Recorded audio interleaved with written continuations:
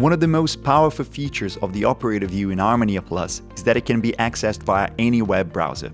To do that, let's make sure that the view is locked by clicking on the padlock. Next, click on Options at the right bottom corner, and then select Operator View. We can now turn on the Operator View web server and click Apply to make the changes effective.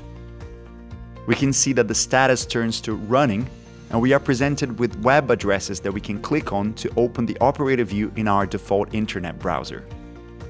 And this is how we can access the operator view from a web browser.